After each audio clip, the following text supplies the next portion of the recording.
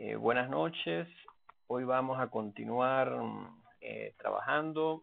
La clase de hoy se llama Q-Learning, que es el algoritmo que ya varios de ustedes han escuchado porque me lo han comentado en las clases anteriores. Entonces hoy el objetivo es precisamente conocer en qué consiste este Q-Learning. Pero antes, como siempre, vamos a dar un repaso de la clase anterior para tratar de hilar las ideas que hemos ido eh, aprendiendo con las nuevas ideas, con Q-Learning. Ajá, en la diapositiva actual eh, tengo el gráfico eh, donde intentaba explicar el método de Monte Carlo. ¿Qué tenía de característico Monte Carlo? Si lo comparábamos con, con la programación dinámica. Que Monte Carlo trabajaba con episodios y la programación dinámica eh, trabajaba como un solver. Como Monte Carlo trabajaba con episodios, yo necesitaba interactuar con el entorno. Y el episodio era estar en un estado inicial, eh, recorrer eh, a través de acciones, llegar a otros estados y eventualmente alcanzar un estado terminal. Eso era lo que era un episodio. Y cuando un episodio ocurría, eh, estar en un estado aquí que estoy resaltando con eh, color rojo, un estado inicial y llegar a un estado terminal. Cuando eso ocurría, yo iba a utilizar la ecuación de actualización. Y la ecuación de actualización eh, iba a estar basada en la idea eh, de los métodos Monte Carlo, que es valorarla en función de los promedios. ¿Y qué son los promedios? Es que la primera vez que yo pase por un estado, él va a tener un valor que depende de la recompensa, y la segunda vez va a tener otro valor si paso por otro camino. Entonces, esos eh, valores que tuvo en la primera vez y en la segunda vez eh, se promedian. Entonces, en ese caso, pues se suman y se dividen entre dos, que es la idea de los métodos Monte Carlo. Entonces, si yo hago eso de pasar por varios caminos de manera aleatoria, eh, eventualmente el promedio va a ser eh, una estimación, va a ser una estimación del valor eh, verdadero de, cada uno de los estados. Entonces, en esencia, era eso.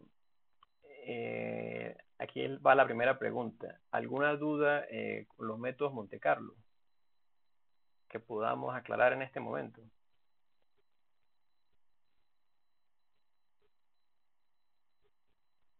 Ah, cierto, que la asignación quedó para la próxima semana. Entonces todavía no han trabajado con, Monte Carlo, que es la, desventaja de dejarlo tan lejos. Entonces, si no hay dudas, eh, voy a pasar de una vez a hablar de Q-Learning. Entonces, ¿qué vamos a trabajar hoy? Vamos a trabajar en la contextualización, eh, donde ubicamos Q-Learning dentro o, como parte de los algoritmos que hemos visto o dentro del framework de trabajo de Reinforcement Learning, eh, vamos a ver el algoritmo y vamos a los casos eh, de estudio. Son las tres cosas que vamos a hacer hoy. Entonces, como contextualización, eh, tengo allí cuatro categorías, por decirlo de alguna manera. De lo que hemos visto, nos está quedando por fuera una. Ajá, Alejandro, eh, me hace el favor y me vas diciendo los nombres como la vez pasada, para ir preguntando.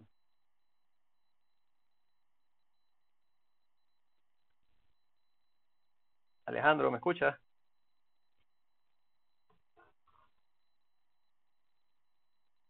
¿Alguien me escucha? ¿Me pueden confirmar? Sí, escucho. Mm, Alejandro no está entonces. Entonces, este, Alfredo, usted que, que respondió, Aquí estoy mostrando eh, cuatro eh, como clases o categorías de algoritmos, si se quiere. Pero según lo que hemos visto, eh, no estoy incorporando a una. ¿A cuál no estoy incorporando? De lo que hemos visto. El que dice Temporal Difference Learning. no, no, no. La pregunta fue invertida es de los que hemos visto, ¿cuál no aparece allí?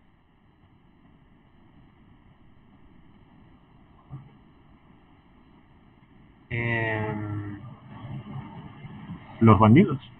Exactamente, Andrés, los bandidos.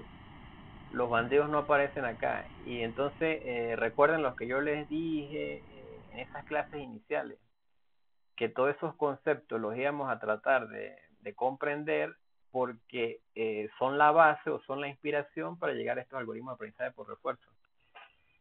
Y los bandits son la base, pero los bandits se ven más como un problema estadístico entonces eh, no, no se ve en esta, en esta clasificación. ¿Por qué no se ve? Porque el bandit usa un solo estado siempre. Y él lo que hace es que tiene que eh, elegir eh, cuál de sus acciones es la mejor. Entonces es como que la base de lo que sería el aprendizaje por refuerzo, pero no es considerado per se como aprendizaje por refuerzo. Si recuerdan que que el Bandit eh, hacía yo mucho énfasis en que era un caso especial porque era un solo estado. Eh, a ver, ¿cuál? ¿Si recuerdas eso? Sí. Ok, entonces... Eh, por que, estaba eso asociado a la parte de la por refuerzo, pero no lo otro que me está diciendo no... No, lo recuerda. Bueno, entonces si no lo recuerda, eh, aquí hago énfasis en eso. el bandit eh, sería equivalente a un diagramita así, como lo voy a hacer aquí en la esquina superior derecha.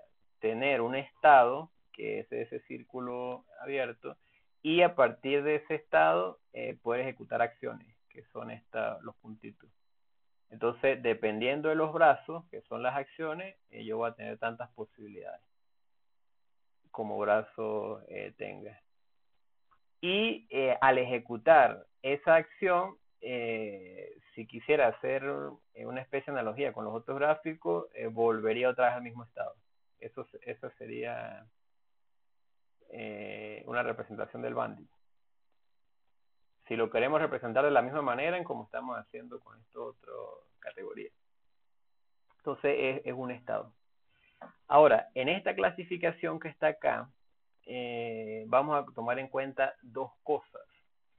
lo primero eh, si es parcial, que es el eje eh, vertical, acá, si es parcial, que es acá abajo, por acá en esta zona, es parcial o si es completa la actualización que se hace eh, con el algoritmo. Entonces, cuando nosotros usamos programación dinámica, que es el que conocemos, el que está en la esquina superior izquierda, ¿cómo era la actualización?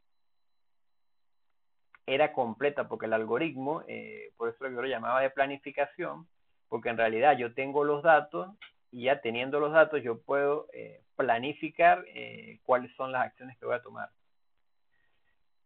Y em, eso es lo que yo haría con un algoritmo de búsqueda exhaustiva, que es este, considerar todas las posibilidades y, y encontrar la mejor.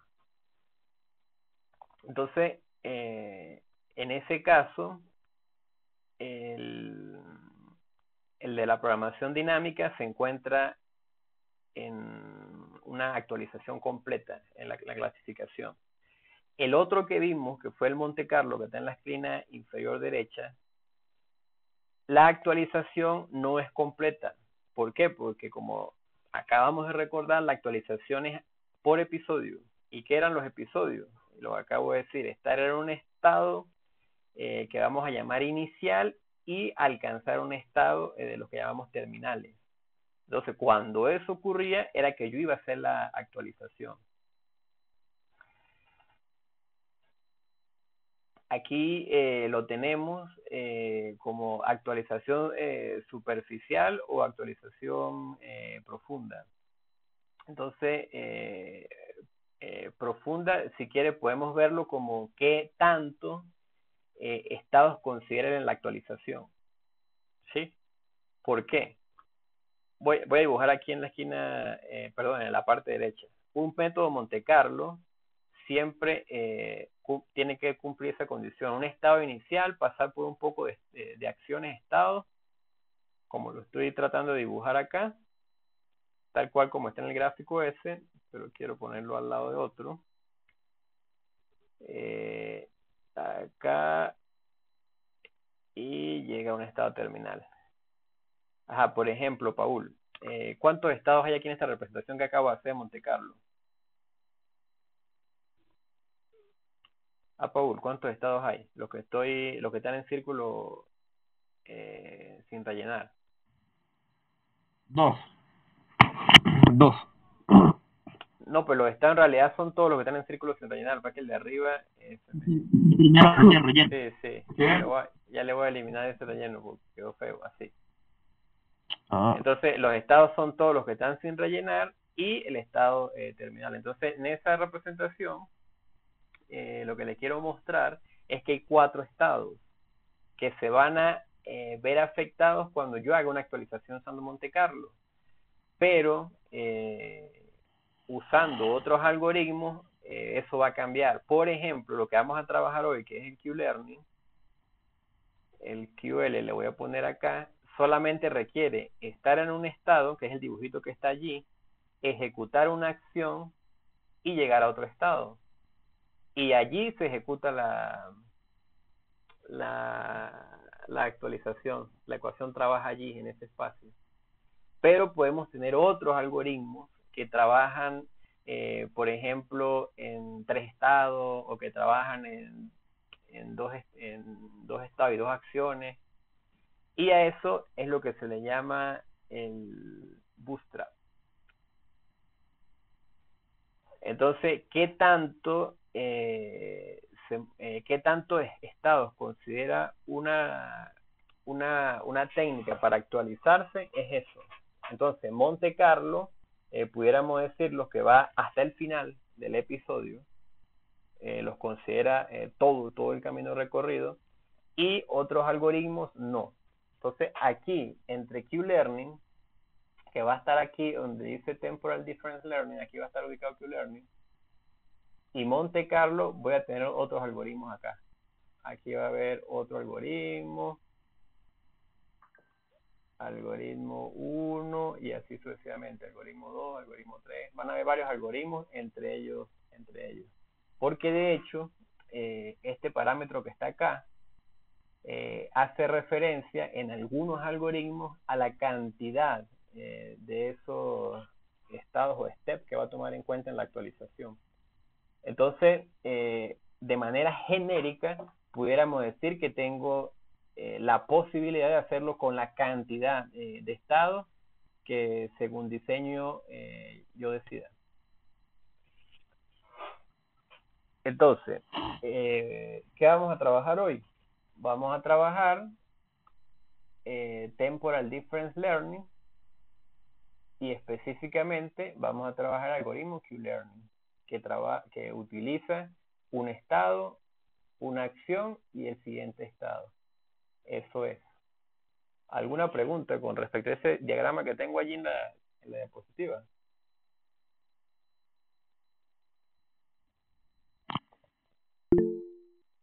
Jaco adelante.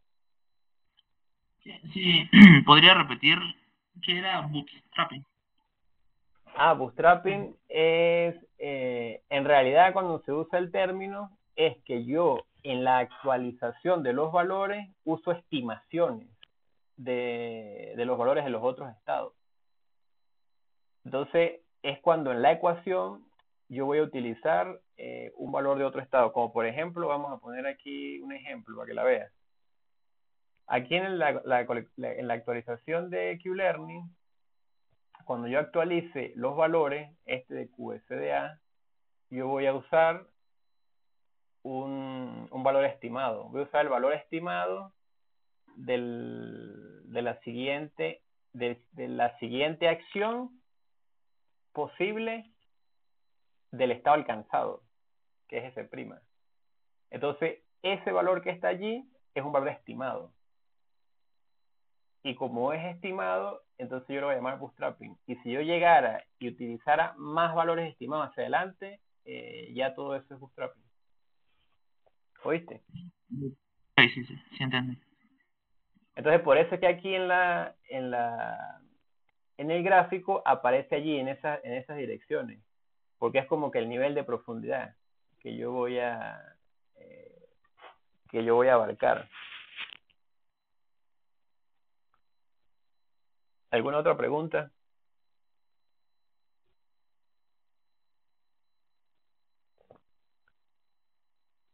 Bueno, aquí eh, también sería importante decir eh, que todos estos algoritmos pues han ido apareciendo de las ideas de ellos mismos. Eh, el Temporal Difference Learning aparece después de las ideas de programación dinámica y de Monte Carlo. Y, y lo potente que puede ser es por la posibilidad de ir aprendiendo al momento de tomar cada una de las muestras, si, si vemos la muestra como estar en un estado ejecutar una acción, eh, tal como lo hacen los bandits, recuerden que es de una vez que él actualiza la ecuación. Y eh, además, eh, la ecuación es más completa porque considera varios elementos. Considera el valor actual que tiene, considera valores futuros, que es el bootstrapping. la ecuación, por lo menos, de, por ejemplo, de, de los bandits, eh, no usa Bootstrapping porque no toma en cuenta el futuro, sino solamente lo que está en el momento presente, cuando va a hacer la, actualización. A eso se refiere. ¿Alguna otra pregunta? Sí, profe, este ah, cuando conocemos el entorno, ¿cierto? Porque estamos tomando en cuenta el valor que tiene el estado siguiente. Eh, en es, eh, particularmente se usan es cuando no conocemos el entorno pues de hecho es eh, libre entorno, es free model. Eh, Por eso dice que usa asunciones de a futuro porque no lo conoce, lo está tratando de descubrir, ¿no? Lo está asumiendo, ok. Sí, lo está asumiendo. Y si por lo menos yo estoy empezando la exploración, eh, mi estimación inicial puede ser cero. ¿Y esa asunción es aleatoria o...? Eh, eh, si ahorita vamos a ver el algoritmo a detalle y si él permite que sea arbitraria. Usted le puede poner cero. Yo siempre le pongo cero es para poder ver cómo va evolucionando los datos. Pero usted le puede poner eh, números aleatorios, le puede poner un número fijo. Mm, sí, depende, depende de la estrategia. Claro, cuando el objetivo sea este, maximizar eh, la tarea, más que eh, mostrar cómo funciona, pues toda esa cosa es importante. Eh, pero en estas clases he tratado de mostrar es cómo funciona, más que de encontrar, más, más, que de buscar las mejores maneras para encontrar las soluciones. Mm, ok, vale. Ok, entonces, ¿alguna otra pregunta antes de avanzar?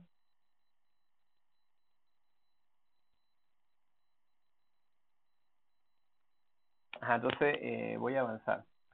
Eh, el único eh, detalle, lo que quiero resaltar, es que Q-Learning está aquí, en temporal, en temporal Difference Learning. Eso es.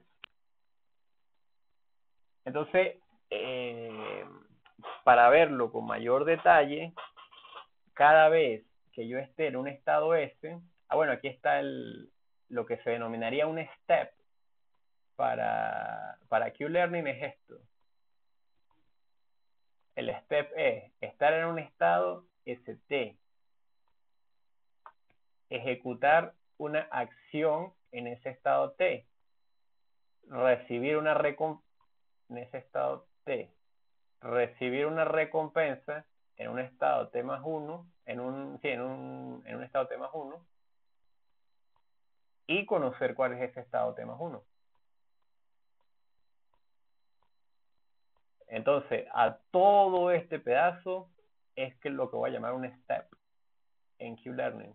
Pero cuando nosotros hablamos de los métodos Monte Carlo, un step eh, lo consideramos como el como estar en un estado y ejecutar una acción, estar en el estado T y ejecutar, la acción T. Así, así este, nosotros le llamamos a los estados en Monte Carlo, a los steps en, en los métodos Monte Carlo que era el ejemplo que habíamos visto allí en la, en la, en la clase. Y cuando nosotros utilicemos otros algoritmos, eh, también pudiera cambiar. Por ejemplo, uno de los que vamos a ver, que es Zarza, eh, incorpora otra acción acá, que sea la acción T más 1. y así eh, y así sucesivamente porque como te digo hay la posibilidad de utilizarlo eh, en función de n lo que uno determine entonces eso es cuando yo estoy en el estado de más 1 vuelve a suceder lo mismo. Si yo me voy para este camino de acá que voy a remarcar aquí en rojo vuelvo a aplicar exactamente lo mismo. Y así sucesivamente. Eh, si yo utilizaba un método Monte Carlo, eh, yo, yo les enseñé dos, dos algoritmos. Un algoritmo eh, buscaba que todos los estados fueran iniciales para él de alguna manera asegurarse de que de todos los estados iniciales iba a llegar a un estado terminal eh, que con Q-Learning nosotros pudiéramos hacer lo mismo. O sea, no, no necesariamente pudiéramos arrancar en un estado, eh, sino que pudiéramos eh, de manera aleatoria arrancar, arrancar en otro estado. ¿Por qué? Por la forma en que funciona. Pero eh, no, sería, no sería la idea, pues la idea es usar el algoritmo tal como, como lo han especificado, que es arrancar un estado inicial e ir actualizando los valores cada vez que me muevo. Eso es. Era como comentario eh, por las similitudes que tiene con el método eh, Monte Carlo. Entonces pasemos a ver. Eh, ah, bueno, esto es lo que preguntó Yosmar. Que si necesitaba conocer el entorno. Y no, él no necesita conocer el entorno. ¿Por qué? Porque con la misma información que tengo del par, estar en un estado, tomar una acción y recibir una recompensa, ya él se construye la se, se, construye implícitamente su modelo a través de la tabla de valores Q, porque la tabla de valores Q lo que tiene es eh, en un lado los estados, eh, por ejemplo, si lo representamos así en dos dimensiones, eh, pudiera ser lo, del eje vertical, y tiene las acciones en, el otro, en el otro eje. Entonces, si nos ponemos a ver, eh, los valores eh, que están acá, por ejemplo 0,54,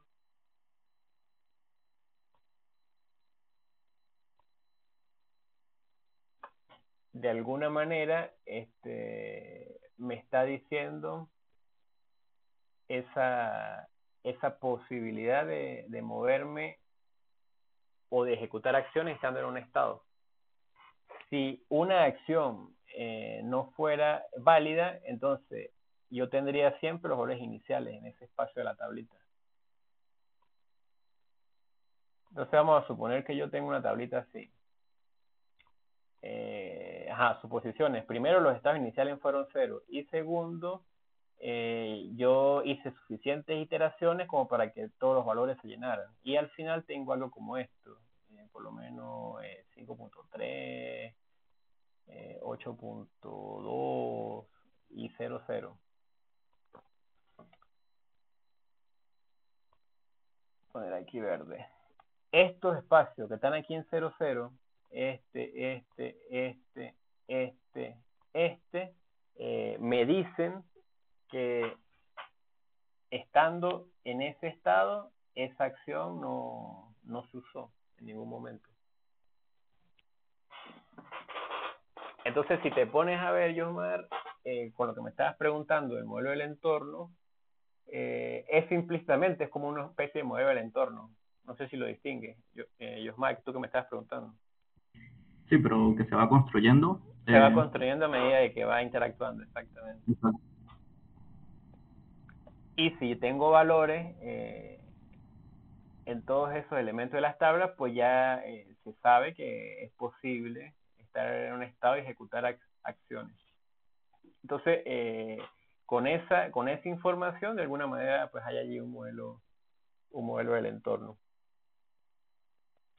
Ahora, eh, en, en aprendizaje por refuerzo, o en este tipo de algoritmo de, aprendizaje de, diferencia temporal, eh, se hace uso de la, esa, esa propiedad de Markov que mm, dice que un estado eh, solamente depende del anterior y no importa que haya sucedido en el pasado.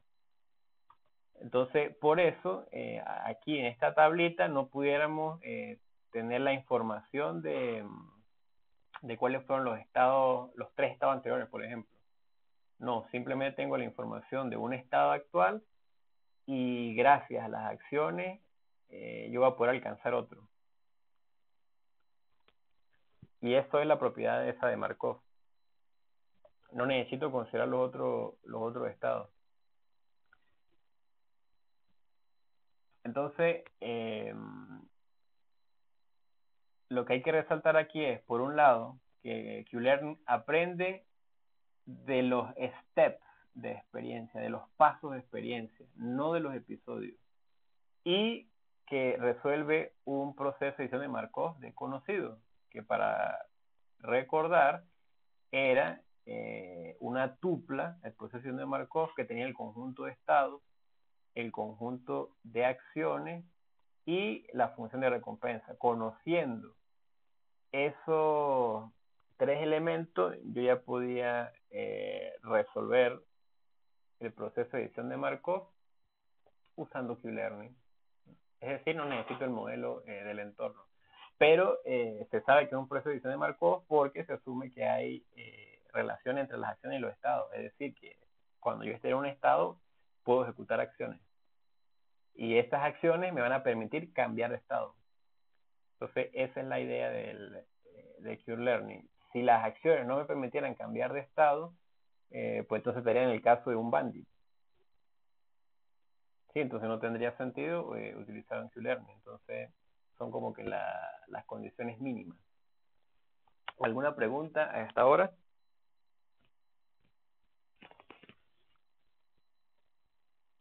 Ok, voy adelantando entonces. Y aquí tenemos eh, la ecuación del Q-Learning. Como le estaba comentando, él usa las ideas de los algoritmos que hemos visto anteriormente y eh, van a notar que es primera vez que vamos a ver en una ecuación, eh, sí, es primera vez que nosotros vamos a ver en una ecuación, en este curso, unidos alfa y gamma. Los hemos visto los dos valores, pero en ecuaciones distintas. En esta oportunidad vamos a ver la misma ecuación. Entonces, ¿qué quiere decir eso? Que alfa, tal como eh, se utilizaba en los bandis, es la tasa de aprendizaje. Eh, el, tamaño del paso también lo llaman así. Que en otras palabras es qué tanto eh, voy a confiar en lo que voy a aprender en, un, en un, momento determinado. Entonces, como siempre, alfa y gamma pertenecen a un número entre 0 y 1. Y como siempre, eh, quiero que miren esto, voy a cambiar de color para, para hacer el énfasis. Color púrpura. Miren lo que eh, eh, miren lo que consiste la función de actualización, es muy parecida a la del Bandit. Tengo el, el nuevo valor, que es lo que está en este lado izquierdo. Vamos allá, voy a ponerle new aquí, el nuevo valor, new, va a ser igual al antiguo valor, que es este que está aquí, entonces te voy a poner old, al antiguo valor, más lo que aprendí. Esto es lo que aprendí. Todo este pedazo. Entonces, alfa, que es la tasa de aprendizaje, está multiplicando a todo esto que está acá. Y lo que aprendí es la recompensa que está acá, que sería el primer elemento que tomo en cuenta. Lo segundo es todo este componente que está acá, que sería una estimación futura. Y nótese que cada vez que se usaba gamma en los algoritmos pasados hacía referencia al futuro, que yo le hacía mucho énfasis en eso. Y aquí también está haciendo así, por eso es que es un factor de descuento. Eh, por eso es que se conoce como el factor de descuento, porque es eso, con respecto al futuro. Y eh, le restaba el valor antiguo.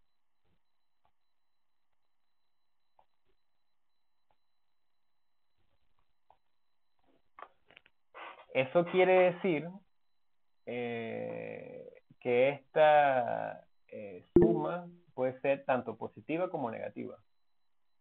¿Por qué? Primero, porque estoy haciendo aquí una resta. Entonces, eso quiere decir que si yo sumo la recompensa más, la expectativa futura y eso es mayor que el, perdón, menor que el valor actual del, del par estado acción, me va a dar negativo. Adelante, Andrés. Profesor, tengo una duda respecto a la interpretación en este caso de lo que vendría a ser la gama. En este caso sería también como la confianza en la predicción que se va a hacer. Sí, es que si te pones a ver, eh, pone, eh, pone, pone de manifiesto la misma idea, que es qué tanto voy a confiar en el valor. La cuestión es que como está puesta alfa, es qué tanto voy a confiar en lo que aprendo, porque está multiplicado por todo ese, ese, esos valores, y gamma, como está multiplicada nada más por el futuro, mira que es el, la máxima, el valor de la máxima acción eh, del estado futuro que es ese prima.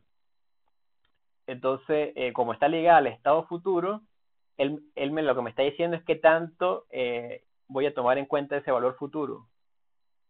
Si gamma es alto, mucho, que es lo que está diciendo, qué tanto voy a confiar en eso, y si es bajo, poco. ¿Sí lo ves así o no? Sí, sí, ahora sí. Sí, lo que pasa es que eh, si, si lo hablamos de una manera eh, en que sean análogos, los dos son eh, factores de aprendizaje. Lo que pasa es que a uno se le llama la tasa de aprendizaje y al otro se le llama el factor de descuento, como para diferenciarlo. Pero sí tienen la misma idea, ¿oíste, Andrés?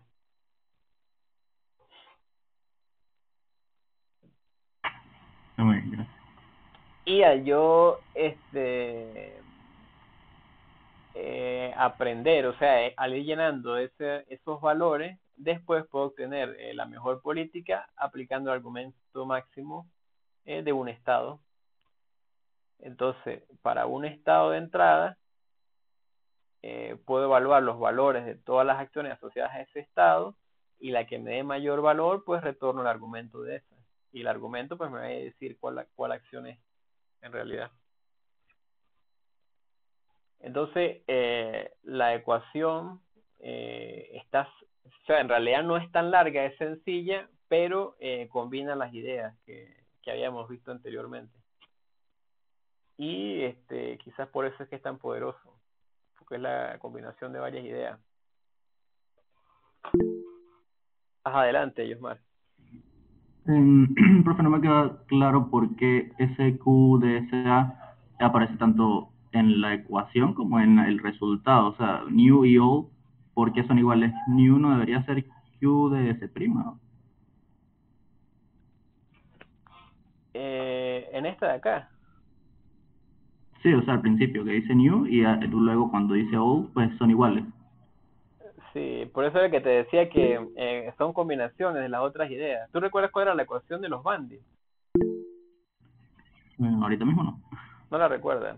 Ah, vamos a dejar que pase cuál, ahorita te respondo esto. Dale, Cualver, adelante. Que aparece como new y como old es porque eso, lo que está diciendo Diego, se está actualizando. Está utilizando los valores anteriores y modificándolos para guardarlos de nuevo en QSA. Pero no es el sino es como una, a ver. Como si tú eh, i es igual a i más 1. Tú utilizas otra vez el i anterior para actualizar el i. Exacto, es como reutilizar una variable. No, eh, no es como reutilizarla, es este hacer la actualización en función de lo que ya vale antes. O sea, lo que dijo Cualver está bien. Sí, o sea, yo lo hago como una... Eh, a ver, cuando reasignas una variable tomando en cuenta su valor anterior. Eh, sí, pero no, pero no lo veas así porque lo, estás viendo al, al momento de implementarlo y yo eso lo pudiera implementar en una lista donde tenga todo el historial, en un log, por ejemplo. Entonces no, no, no, no sería verlo como un como una variable. ¿Oíste, Josmar? Sí. Aquí voy a este, incorporar en la ecuación del bandit para mostrarte. ¿Qué era lo que hacía el bandit? Ah, bueno, aquí está la ecuación incremental, está aquí la incremental. Se me perdió la incremental. Aquí está. ¿Qué era lo que hacíamos con el bandit? Lo mismo. Teníamos esa ecuación eh, del valor de, de una acción era igual al mismo valor que tenía, o sea, al valor eh, anterior, que sería este. El nuevo valor va a ser igual al valor anterior más la tasa de aprendizaje multiplicado por la recompensa menos el valor anterior. Entonces, por eso era que te decía que es una, el Q-Learning es una combinación de todas estas ideas que están acá. Pues, eh, ¿Logras ver la, la similitud, ellos más Sí. O sea, lo que pasa ahí es que al momento de, de ya hacer el cálculo de, de, tomar su valor actual y actualizarlo, pues ya deja de ser él como tal, sino eh, empieza a avanzar, pues. Exactamente eh, porque voy concentrándome en el, en el valor del paso actual, pudiera decirse así. Sí. Adelante, Diego.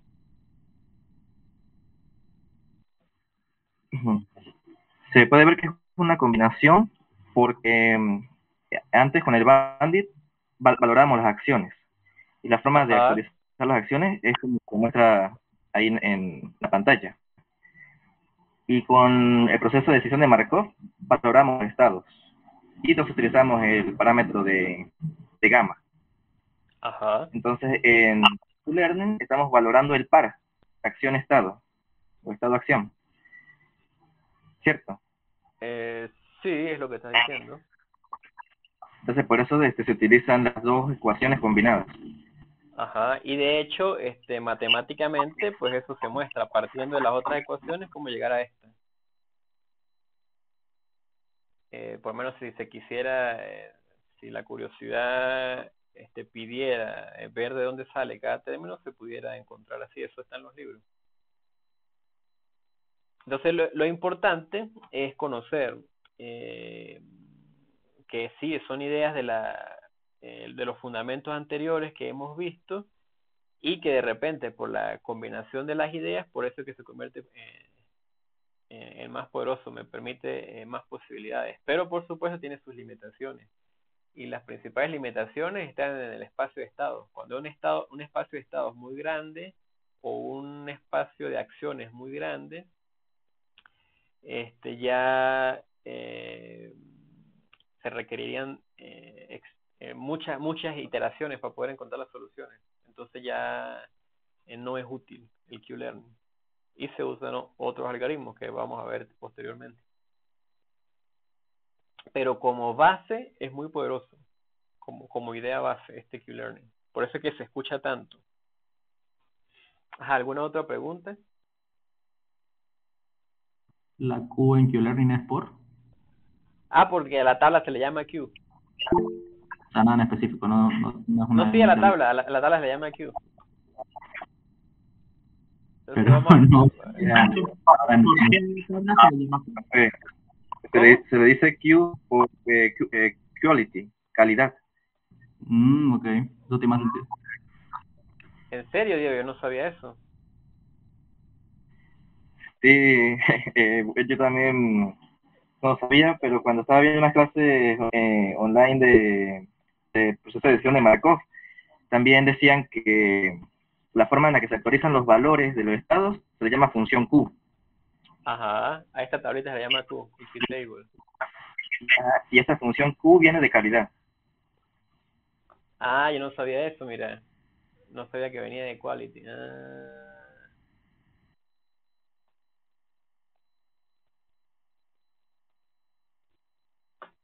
Eh, yo lo que he visto es que cuando se habla de valorar eh, los estados, se habla de una, de una función B. Por eso cuando es estado solo es BDS.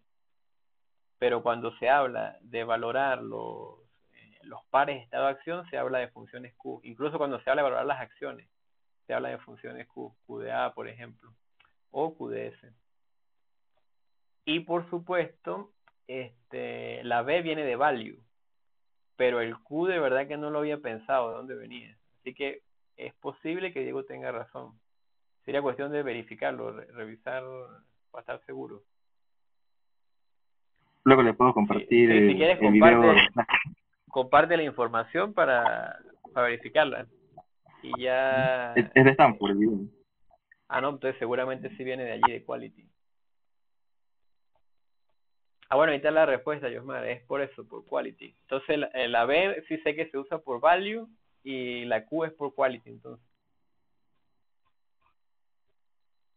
Ajá, ¿alguna otra eh, pregunta?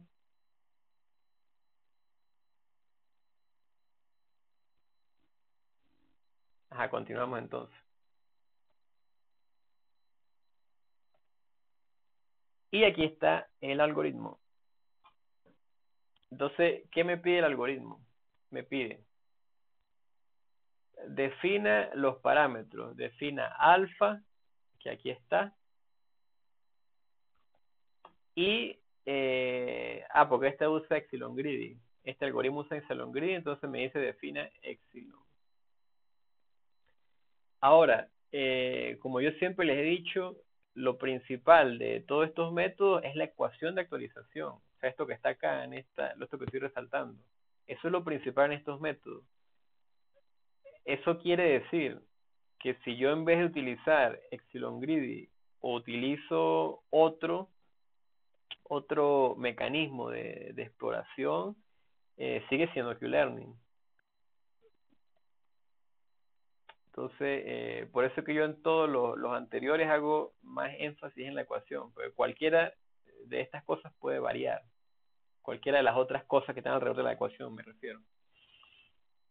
Entonces, mire que aquí, adelante, Abraham. Eh, una consulta referente a eso. Quiere decir que el, el justamente no, no tiene establecido solo esta ecuación, sino puede tener otras implementaciones. No, con respecto a la ecuación, sí, la ecuación es esta, esta que está aquí. Okay. Lo que puede variar es el algoritmo, pues. O sea, por lo menos aquí te dicen eh, que use Epsilon. ¿Por qué? Porque te sugieren usar Epsilon Greedy. Pero yo, pudiera, yo pudiera utilizar, o sea, hay muchas técnicas de exploración, yo pudiera utilizar cualquiera. Y seguiría llamándose Q-Learning. A eso es que me refiero. Ah, vale, muchas gracias. Y mire lo que me dicen aquí, me, eh, me, me, motivan a utilizar una, un valor de epsilon eh, pequeño. Eso quiere decir que si va entre 0 y 1, eh, pequeño diría yo que al menos va por debajo de 0,5. Y eso es para que mayormente haga explotación de lo que va aprendiendo hay unos eh, hay unas técnicas ya que ya que estuve mencionando las técnicas que usan este epsilon variable entonces como lo natural cuando estás aprendiendo sería que al principio eh, se explora mucho pero al final se, eh, se se explota más el conocimiento entonces se usan algunas ecuaciones que permitan hacer eso o sea por ejemplo una puede ser en función de n por ejemplo, eh, 1 sobre x creo que es así la gráfica, ¿no?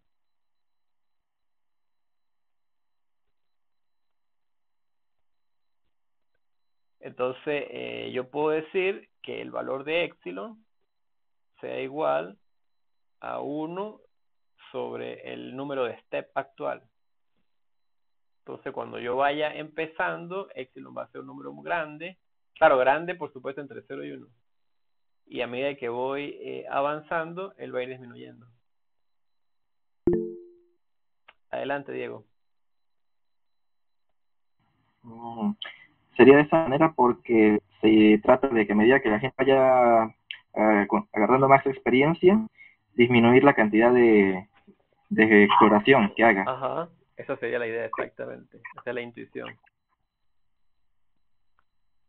pero eh, con el que con el epsilon gris normal eh, se mantiene el valor de epsilon. ¿Se han dado cuenta? Entonces, si yo uso un valor de epsilon eh, muy grande, él va a explorar mucho. Y todo el tiempo, incluso en, las, iteraciones finales. Y eh, por eso era que cuando estábamos viendo los ejercicios de los bandits, que estábamos comparando las estrategias de selección de acciones, que es eso, la, que tanto exploro, que tanto exploto, eh, notábamos que cuando el éxito era grande, pues parecía un comportamiento aleatorio. Y el aleatorio, pues, es, interpretado de otra manera como que mucha exploración, o, o siempre exploración. Bueno, me gusta más la palabra mucha, mucha exploración. Entonces por ahí van las ideas. Ajá, entonces, ¿qué eh, se haría con este algoritmo después?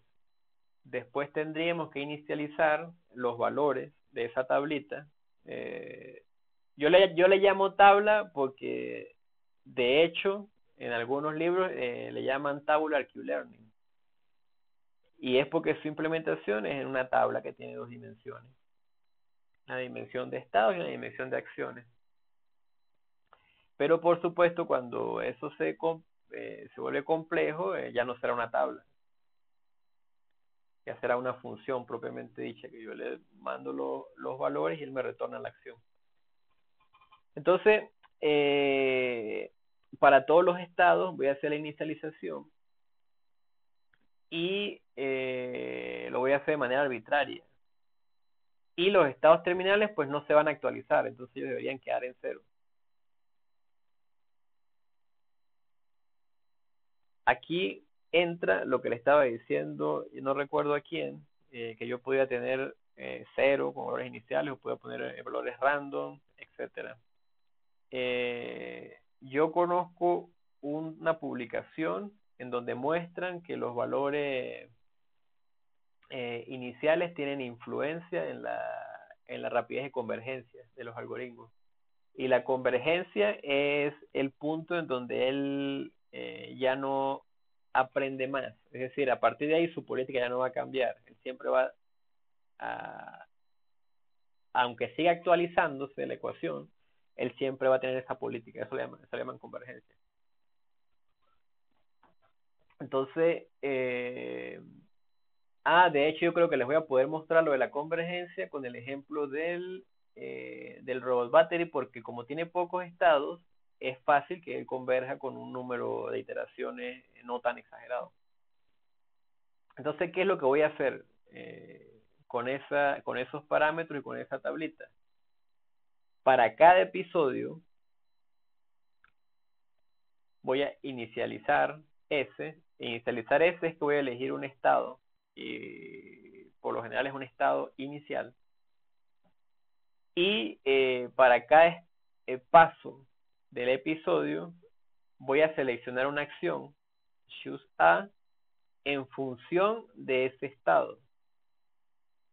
Entonces, por eso es que eh, esa política pi eh, es pi de S, porque en función de un estado es que yo voy a obtener la acción. Y eh, lo que me está pidiendo es que sea derivada de Q. Entonces, de alguna manera tengo que usar Q eh, por ejemplo, Epsilon Greedy. ¿Cómo usaría yo Q en Epsilon Greedy? Pues recuerden que Epsilon Greedy es si el valor eh, eh, con probabilidad Epsilon yo voy a explorar y con probabilidad 1 menos Epsilon yo voy a explotar. Y explotar es la ecuación esta que yo les presenté anteriormente.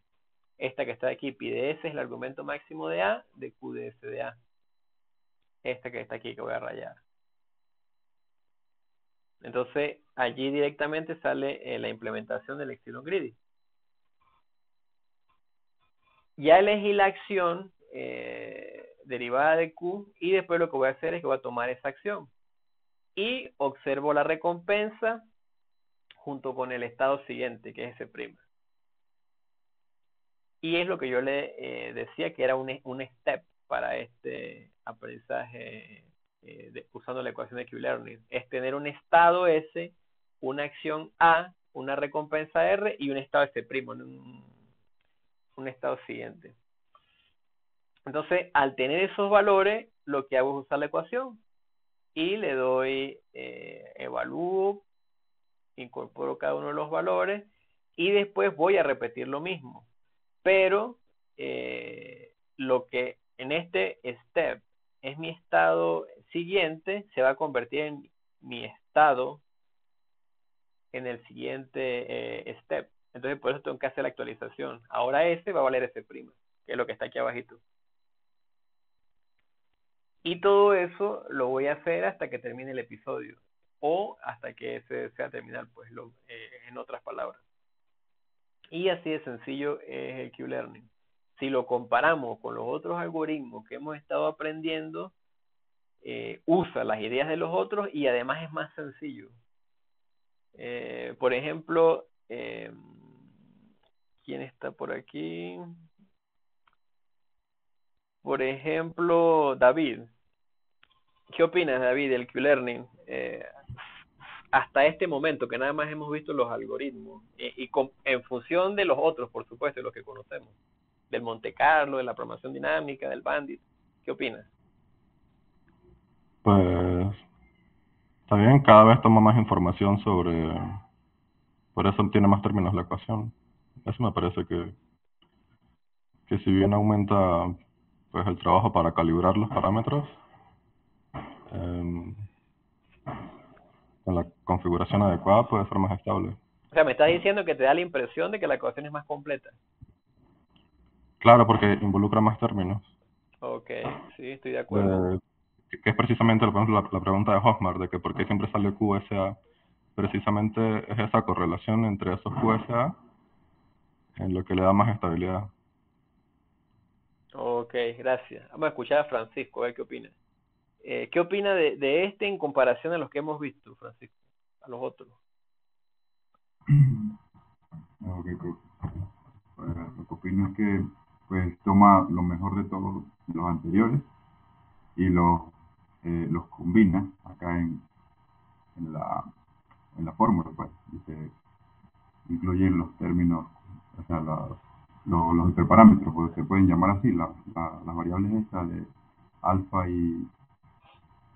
Y gamma, sí, Se, puede, se pueden llamar hiperparámetros, sí. entonces, entonces, con una buena configuración de estos hiperparámetros, pues el algoritmo puede comprar mucho mejor. Gracias, Francisco. Sí, estoy de acuerdo eh, con ustedes. Y yo además opino que eh, es simple el algoritmo en comparación a los otros. Los otros tienen más pasos. Entonces, eh, voy a pasar de diapositiva. acá. Y vamos al caso de estudio. Como siempre, pues el, robot battery, que es el que me permite explicar eh, más claramente por su sencillez. Eh, ya conocemos cuáles son las características o las condiciones del robot battery. Entonces les voy a pedir ayuda para recordarlas. Eh, a ver, Alfredo, ¿cuáles son los estados en el entorno del robot battery?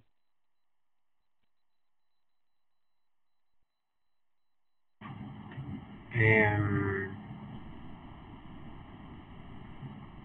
era si el robot estaba cargado o descargado.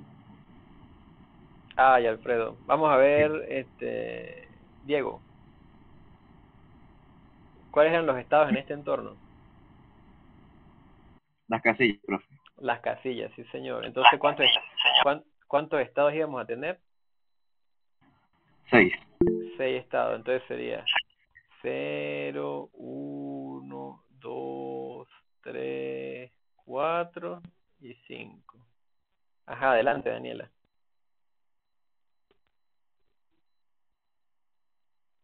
No, ya, ya respondí. Ah, ok. Bueno, pero entonces ayúdame con la siguiente pregunta.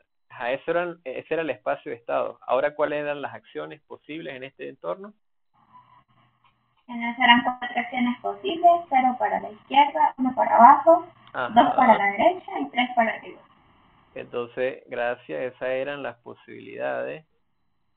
Era moverse y nosotros la identificábamos con estos índices.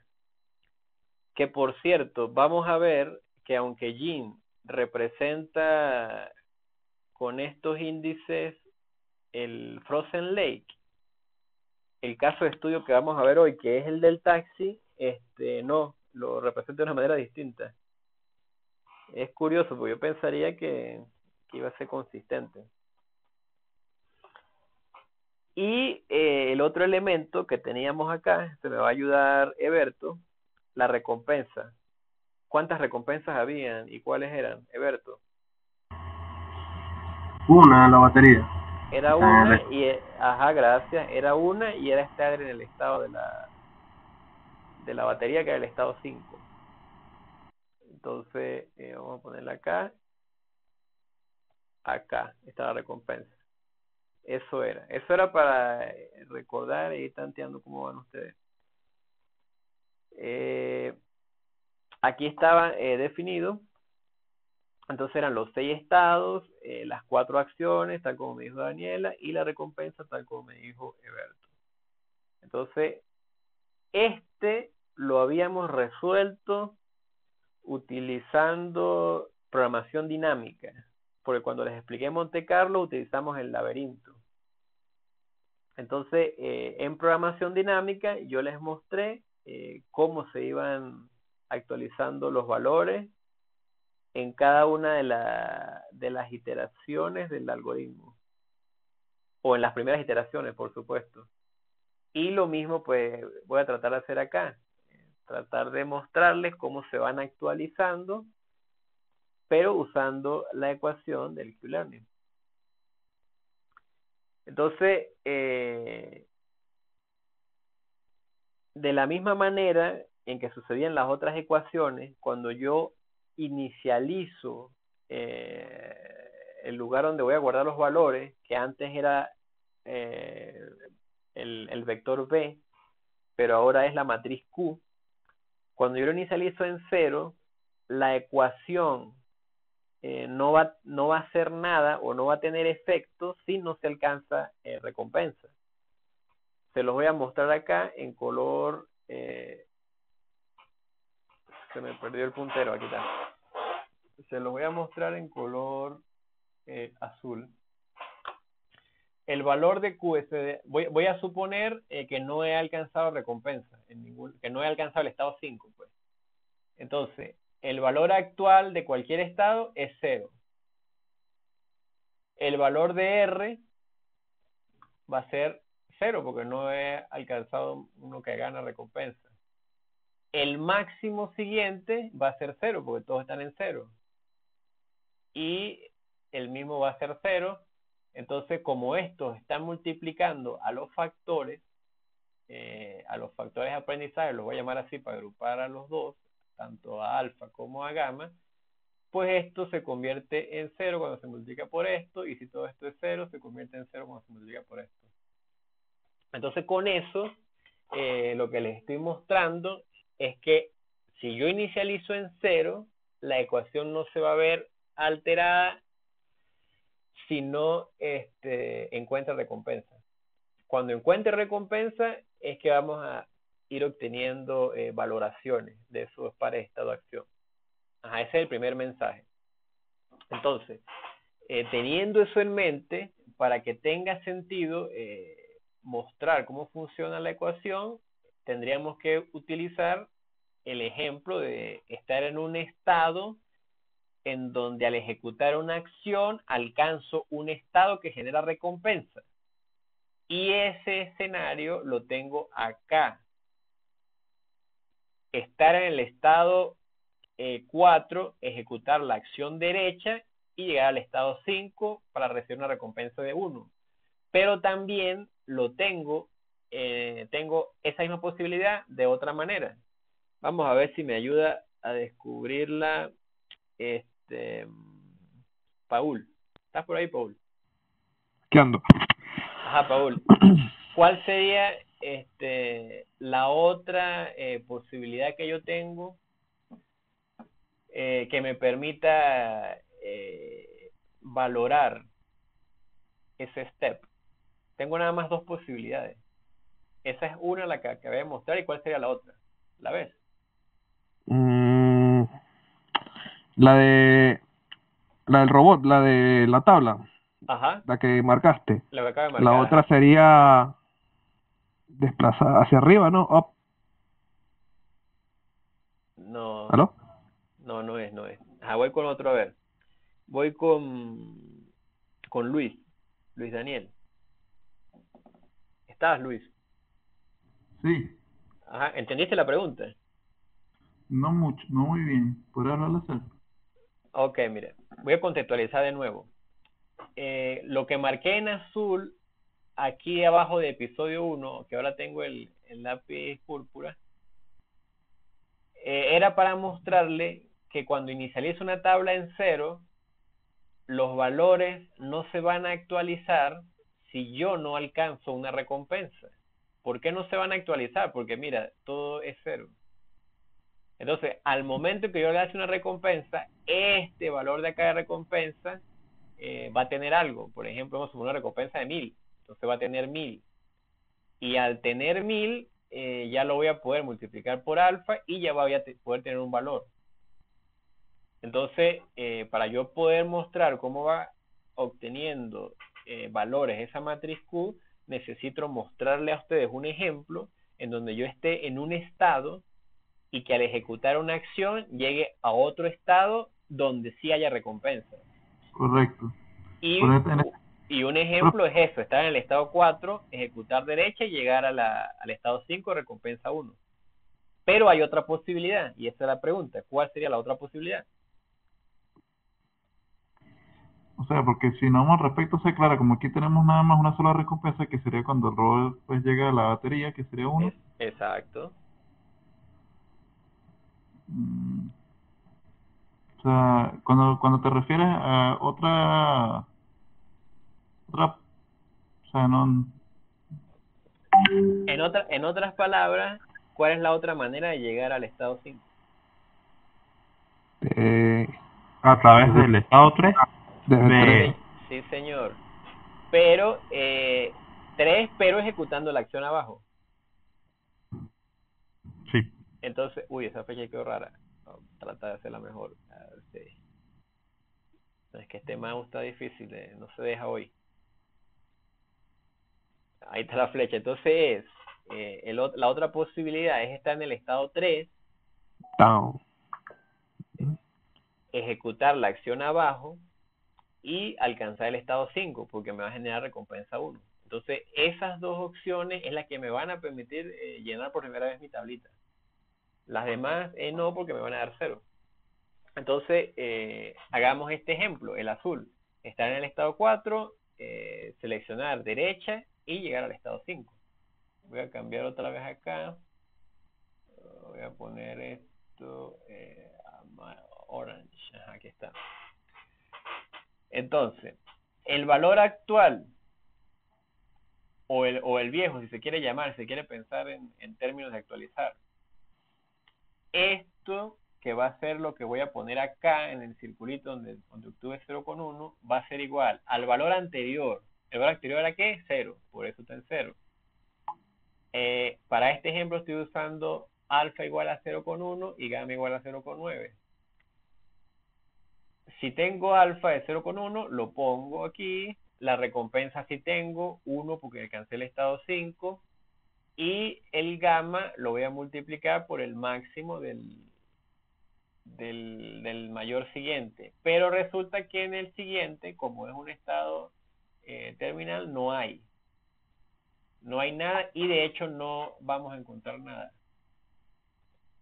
Entonces, eh, ese componente sería cero.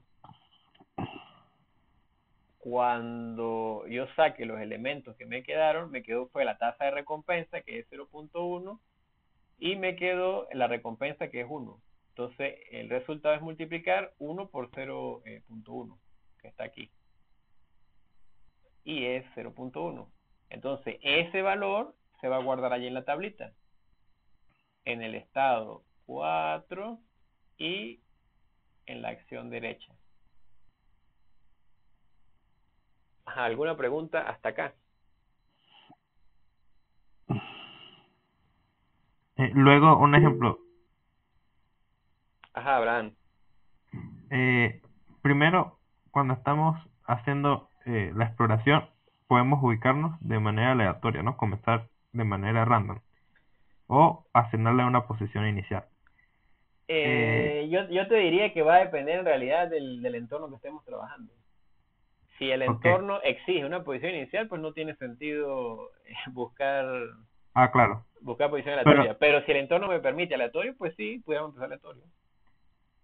Ok, y un ejemplo, eh, en un caso hipotético que hayamos seleccionado de manera aleatoria eh, el estado 4, luego de tener eh, ese valor de 0.1 y actualizar la tabla, volvemos a hacer un, un, un nuevo recorrido, ¿no?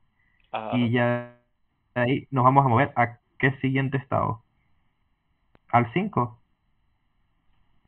Eh, pero depende de la acción.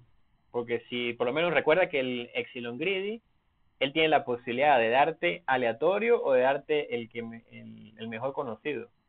Y si por casualidad te da aleatorio, eh, él te puede mandar, por ejemplo, hacia 2. Porque puedes estar en el estado 4 y ejecutar la acción hacia arriba. Entonces, en esa Vale. fase de, de entrenamiento, eh, pues él va a estar allí jugando con lo que conoce y con lo que está por conocer. Quiere decir que también dependiendo la cantidad de, de steps que se le dé, va a aprender más o va solo a explorar menos. Exactamente. No, pero recuerda que con Epsilon fijo es, va a ser el mismo comportamiento siempre, que es lo que estaba explicando hace rato con la Sí, con el sí. 1 sobre X. Ok. La, la diferencia entre, para, para concluir la idea, Abraham, la diferencia eh, de comparar el inicio con, con el final o iteraciones bastante avanzadas es que cuando le toque explotar en el inicio, pues casi que es como aleatorio, porque no está seguro, nada más alguna experiencia obtenido. Ya después de muchas iteraciones, cuando diga explotar, que es la- la- lo mejor conocido, la probabilidad es más alta de que esa sea. Sobre Claro. todo cuando estemos hablando de entornos eh, estocásticos, que es el caso del Frozen Lake. Claro. Por ahí va. Ah, después venía Yosmar. Eh, creo que mi pregunta va parecida a la Abraham, o sea, pero mi duda es si, o sea, la única forma de que este algoritmo funcione es que tengamos cerca recompensas, o qué pasa si quedamos lejos de, del objetivo que tiene recompensa. Ah, es lo que estaba diciendo. Eh, Sí. la primera aclaratoria es que yo, por supuesto, selecciono los entornos más fáciles para poder explicar. Es, es lo primero. Y lo segundo, eh, que también para poder explicar selecciono estados iniciales en cero, valores iniciales en cero, perdón, es más- porque es más fácil de ver. Eh, y si nosotros en algún entorno hiciéramos esas dos cosas que yo estoy haciendo, eh, ciertamente él va a poder estar eh, por un rato estando eh, ejecutando estado, acción, está, y llegar a un otro estado, actualizando y quedarse en cero. Puede estar ahí un buen rato. Y hasta que encuentre una recompensa es que va a empezar a aprender. Si esa era la pregunta. O sea, él puede estar un buen rato sin aprender, sin cambiar, sin actualizar sus valores. Sí, pero eso si los, si los valores iniciales no son cero, ¿no? No, si son cero. Es cuando son cero, casualmente. No, no necesariamente tienen que ser algunos aleatorios para que vaya avanzando. ¿Cómo dice Jorma? Que no te entendí lo último. O sea, no necesariamente tienen que estar inicia- eh, inicializados en valores aleatorios diferentes a ceros para que vaya avanzando. O eso solo le ayuda a ir más rápido. No, este, por supuesto que él va a ir avanzando siempre, porque cuando él agarra un estado, eh, ejecuta una acción y llega a otro estado, eh, porque eso ya es dinámica no de la gente, sino dinámica del entorno, ¿no? Que si tú estás en un estado y ejecutas una acción, pues yo me muevo para otro estado. Este, él va a estar moviéndose. Lo que yo te decía es que no va a estar actualizando los valores, pero sí, él va a estar moviéndose. Ok. Ajá, Alfredo. Ajá, eh, yo tenía una duda porque eh, en el algoritmo usted refleja que si el, el agente no obtiene recompensa, entonces la ecuación queda en cero, quiere decir que no aprendió. Entonces, eh, ¿qué ocurriría si, por ejemplo, para ciertos valores o para ciertas regiones de alfa y, y gamma el agente siempre obtiene, nunca obtiene recompensas? Ah, ok. Esa es una buena pregunta porque allí tiene que quedar claro que eh, las recompensas en los entornos eh, basados en aprendizaje por refuerzo son diseño este, humano, pues. Los videojuegos, en el caso particular de los videojuegos, el videojuego tiene eh, inherentemente una manera de saber si lo estoy haciendo bien o no, que es a través del score. Pero si yo eh, voy a diseñar un entorno para pensar por refuerzo, tengo que definir eh, la recompensa y tengo que asegurarme de que sea alcanzable. O sea, no tiene sentido poner a una gente en un entorno donde no, no va a alcanzar eventualmente una recompensa. ¿Sí ves a lo que me refiero, Alfredo? Sí, pero sería igual que en los algoritmos y en los ejemplos pasados que tenemos un, un solo estado en el que tenemos recompensa o podemos tener varios. Ah, esa es una excelente pregunta. Y la respuesta es muy sencilla. Yo aquí cuando le muestro los ejemplos siempre pongo una recompensa para mayor simplicidad.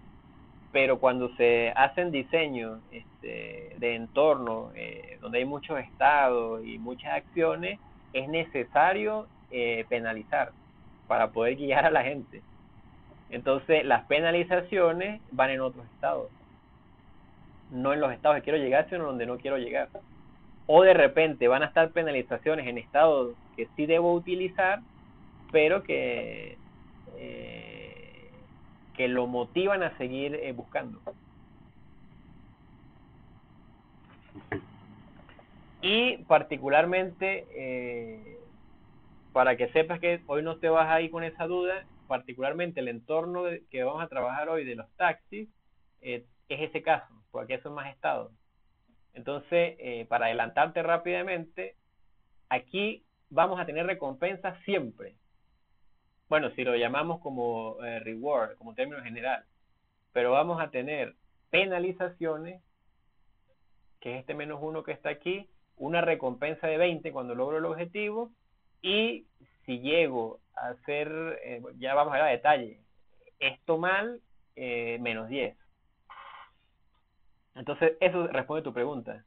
En el diseño eh, estoy dando guía en todo momento. Ok, pero por ejemplo pueden haber dos estados que tengan recompensas positivas diferentes. Eh, claro, claro que sí. Ahí, ahí tienes el ejemplo de, de recompensas negativas diferentes. Entonces, sí puedo tener recompensas positivas diferentes, claro que sí. Ok, sí, eso aclara mi duda. Gracias. Ok, eh, ¿quién venía para las preguntas?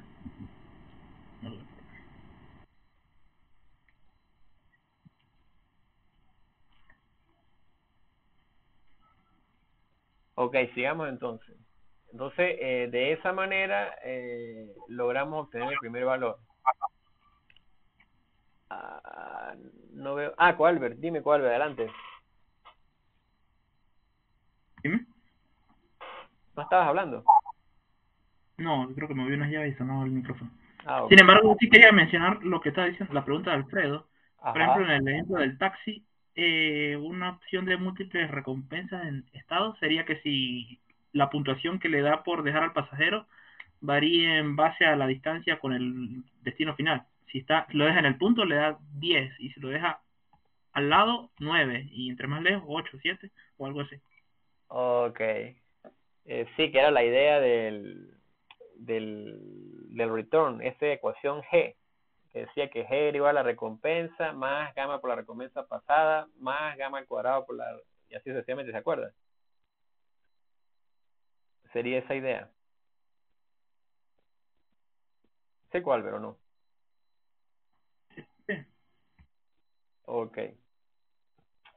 Entonces, bueno, vamos a pasar a la siguiente. Y eh, ¿qué era lo que teníamos hasta el momento? Teníamos nada más valorado ese 0.1, que era el estado 4, acción R.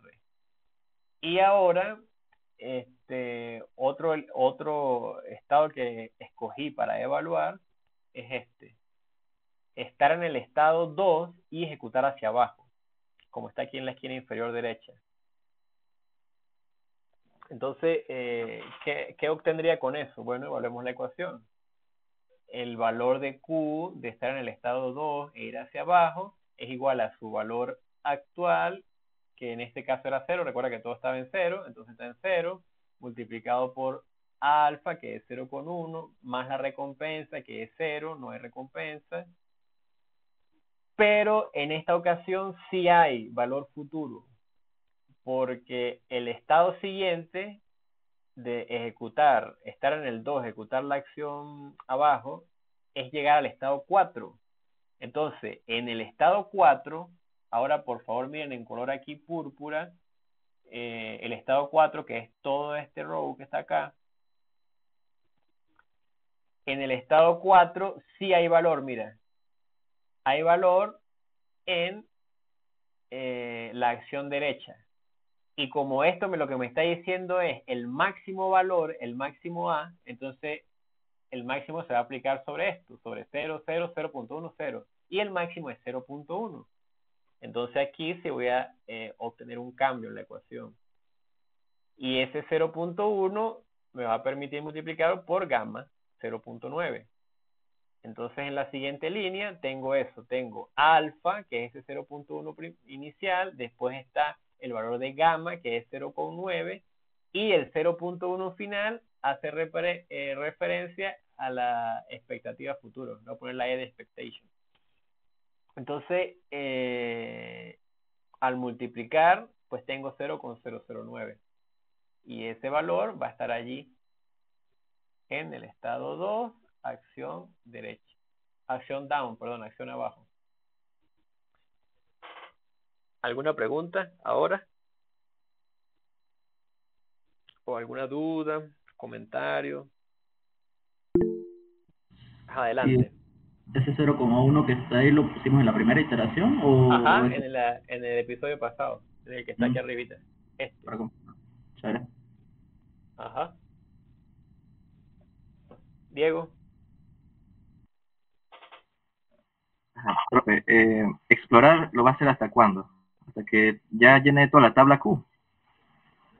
Pues te, te diré que al llenar toda la tabla Q no es suficiente hay que hacer varias eh, repeticiones para que él converja. Y cuando él converja, es decir, que ya sus valores no cambien, es que él obtiene lo, mejor que pudo obtener. No sé si lo dije, lo dije entendible. Hija, cuando sucede va a tomar la opción de... Perdón, Diego, repite, por favor. Ah, ok. Que en este momento entonces este, tomará en cuenta la opción de explotar y, y descartará por, por, completo la de explorar. Este, no, lo que te quise decir es que para poder resolver un proceso de Markov eh, con Q-Learning hay que hacer muchas iteraciones. Y no basta con, con que se llene la tabla, sino el criterio para saber cuándo encuentro la, la solución óptima es que los valores de la tabla converjan. Es decir, que cada vez que se llame la, ecuación de actualización, eh, ya ya permanezcan los mismos valores. Eh, ¿Sí escuchaste, Diego? Sí, pero mi duda acá es porque utiliza una estrategia epsilon ¿cierto? Ajá.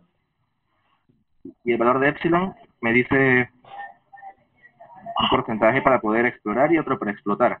Exactamente. Ok, entonces, ¿cuándo eh, tomaría la decisión de explotar? ¿En qué momento de la exploración? Bueno, tú lo estás diciendo. Eh, lo voy a poner aquí para que quede claro. Tenemos ese valor de epsilon. Y ese valor de epsilon me va a decir explore. Y ese valor de 1 menos epsilon me va a decir exploit.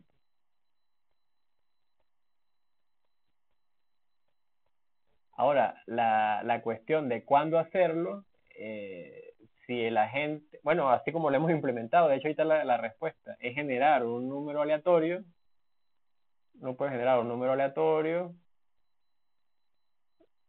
un uniforme entre 0 y 1, 0,1 es eso. Y eh, si el uniforme es menor al epsilon, pues exploro. Y si, y si no, exploto. O sea, lo, la, la estrategia epsilon gray lo define. ¿Sí o no, Diego? Ya veo.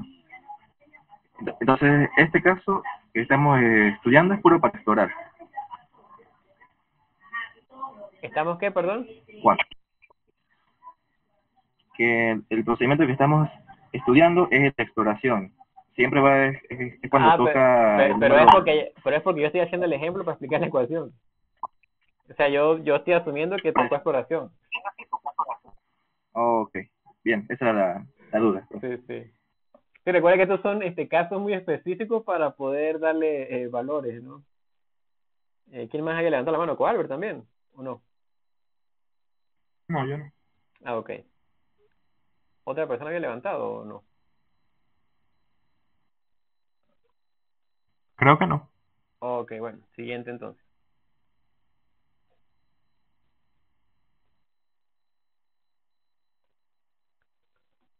Y este, eventualmente, ah, bueno, esto eh, puede responder la pregunta de Diego. Eventualmente, esos valores van a converger. Y, eh, eh, por ejemplo, aquí hay una solución. Ah, y ¿sabe qué se me olvidó mencionarle a Diego? Diego, ¿estás ahí? ¿Qué estoy? que en los, en los algoritmos de policy iteration, eh, allí siempre estoy verificando que si la política es estable o no. ¿Recuerdas eso? Que decía si PDF is Cuando es, stable. eh, claro, cuando no sobrepasa un valor de epsilon. Ajá. No, pero ahí no usamos epsilon, ahí recuerda que usamos otros parámetros, usamos delta y teta. Ah, bueno, creo que el parámetro Z debe ser al que me refiero entonces. Que era un número muy pequeño. Ajá.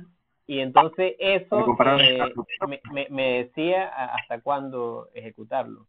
Pero además, eso era el que usaba eh, teta y, y delta, era la ecuación de, poli- de policy evaluation. Recuerda que policy iteration tiene dos partes. Una es policy evaluation y la otra es policy improvement. La de policy, Correcto. la de policy evaluation usa S delta y teta, pero la de policy improvement usa una condición eh, booleana que se llama is stable. ¿Recuerdas? Sí. Y eso en realidad lo que estaba verificando era si, conver- si estaba convergiendo o no. Porque si, Ajá, los si la, valores- pol- si la no- política cambia es porque eh, todavía no ha convergido. Así es. Bueno, entonces esas mismas ideas eh, serían lo que, lo que se aplicaría acá. ¿Y cómo saber cuando los valores convergen? Pudiéramos definir también un valor de teta. Y pudiéramos decir, bueno, cuando la diferencia es menor de 0,001, eso ya está listo. Ya convergió. O pudiéramos poner eh, un valor de teta mucho más pequeño. O lo pudiéramos poner más grande. ¿Sí ves la idea? Sí, profe.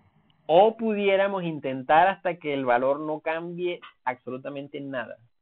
Pero entonces, claro, ahí pago el, el precio en, en, en iteraciones, no en computación.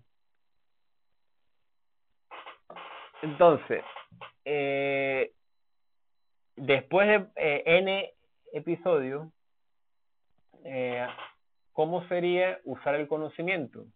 Bueno, usar el conocimiento es estar en un estado y verificar cuál es la mejor acción. Entonces, ese es el estado cero, en donde está aquí inicialmente el robot. Si verificamos eh, los valores de todas las acciones, observamos que está el mismo valor para derecha, perdón, para down, que es abajo, y para Right. abajo y para derecha. ¿Quién me dice por qué? Porque están a la misma distancia.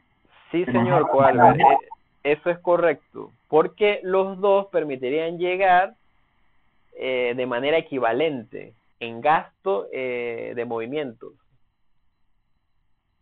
Por eso es que están iguales. Entonces, como, eh, como el algoritmo a mí me dice que yo puedo resolver esa, esos empates arbitrariamente, así como me decía el algoritmo de, de Monte Carlo, que si hay empate, usted lo resuelve arbitrariamente. Entonces, bueno, yo cuando hay empate, eh, tal como lo hace eh, eh, Python, cuando uno usa el argumento máximo, él retorna el que está más a la izquierda. Quiere decir que si tengo un vector de 0, 1, 2, 3, él retorna el que está en la posición más cercana a cero. Entonces, en este caso, eh, si ejecutáramos esto en Python, pues Python me va a retornar es la, la de abajo. Y por eso la, la marqué allí, esta. Esa es la que se va a seleccionar. Pero eh, me gusta me gusta hacer la aclaratoria porque pudiéramos tener otros criterios de, determinar cuál va a ser, eh, cómo va a ser la resolución de un empate. Entonces, eh, al ejecutarse la acción, como esto es determinista, él va a ir al estado 2. Recuerde que este es el estado 2. Entonces, en este estado 2, vuelvo a mirar los valores y me doy cuenta otra vez que tengo exactamente el mismo caso. Bueno, exactamente el mismo caso no, porque en el caso del estado 0 tenía los mismos valores para abajo y derecha y tenía los mismos valores para izquierda y arriba. Pero en este caso, sí me está diciendo que entre izquierda y arriba, me está recomendando ir para la izquierda. ¿Está definido que si va a la izquierda se queda ahí? O... Sí, está definido que se quede allí. Ah. Claro, porque quedarse allí es mejor que estar... Quedarse aquí es mejor que estar arriba. Ah, ok, ok, sí. No, en principio me asusté porque... Eh, eh, porque vi el muro aquí, pero claro, está definido que si va para la izquierda, está aquí mismo, queda aquí mismo. Entonces, él me está diciendo, prefiero quedarme aquí que irme a la casilla anterior. Y eh, las mejores opciones es moverme a la derecha o moverme hacia eh, abajo. Entonces, con el mismo criterio que usa el argumento máximo en Python, pues entonces selecciono la primera, que es down. Y voy otra vez hacia abajo. Estoy en el estado 4 ahora y vuelvo a mirar los valores. ¿Qué me está diciendo los valores? Que la mejor alternativa que yo tengo, aquí ya no hay duda, porque mire, está 0.995, es mayor que las otras, es, es aplicar la acción derecha. Pero también me está diciendo que la segunda mejor opción eh, que tengo es quedarme, que sería left, sería quedarme, es la segunda mejor opción que tengo, o eh, down, bueno, down también significa quedarse, porque si doy down me vuelvo a quedar, y hacia arriba tiene menor valor. Entonces él me está diciendo, lo mejor es ir a la derecha. Lo segundo mejor que puedes hacer es quedarte donde estás y lo peor que puedes hacer es subir. Es como alejarte. Entonces, noten que además de que los valores me permiten encontrar la mejor acción, también me permite eh, identificar con respecto a las demás, eh, ¿qué es mejor? Entonces, esa, información es útil saberla porque de repente en alguna aplicación eh, del mundo real, de repente lo mejor es ejecutar una acción, pero en el momento en que lo voy a ejecutar, la acción ya no es válida. Entonces me toca recurrir a la segunda mejor opción. EQ Learning me la está ofreciendo. Eh, ¿Logran ver eso? Sí. Sí. Perfecto. Entonces, eh... en este caso, profe, entonces la peor de las tres, la peor sería subir. Sí, la peor sería subir y, y la respuesta intuitiva es que, claro, es lo peor porque me estoy alejando. En el estado actual estoy a un solo eh, paso de alcanzar el objetivo y si me alejo, pues me quedaría dos pasos, entonces no es, mejor que yo gaste acciones que me van a dejar en el mismo estado a que me mueva a un estado lejos. Eso es lo que me está diciendo eh, esa tablita. Y de esa manera, pues, eh, logramos eh, llegar. Entonces, vamos a ver ese caso de estudio en, el Visual Studio. Eh, bueno, primero vamos a ver cómo está implementada la ecuación. ¿Qué valores necesito? Necesito los hiperparámetros de alfa, gamma y epsilon. Y tal parece que es primera vez que nosotros en este curso tenemos juntas a alfa y gamma. Eh, lo segundo, pues el reset como siempre. Eh, aquí lo importante o que vale la pena destacar es que eh, estoy inicializando la tabla con valores de cero. Sería lo importante. Y lo otro importante sería ver la ecuación, que la ecuación está acá. Este update que tengo aquí como auxiliar es para tener la información del step actual y poderla renderizar. Pero en realidad el update es aquí la, ecuación. Entonces la ecuación eh, es lo que estábamos viendo, es el valor actual que está en la tablita, multiplicado, eh, perdón, sumado con alfa, que está multiplicado por la recompensa, que está acá, y eso está sumado por gamma, por el máximo valor del siguiente estado, y eh, restado por el antiguo valor. Es la ecuación. Esta es la que hace la magia, la que está acá. Y eh, eso es todo. Lo demás es eh, la misma idea que habíamos visto en, los otros, en las otras implementaciones. Entonces, vamos para el main. Y en el main, el que estamos trabajando en la diapositiva era el robot battery y es el que vamos a ver en este preciso momento. Y em, para poder ver lo que yo les acabo de mostrar, necesitaríamos... Em, bueno, vamos a ver qué pasa con 100 episodios.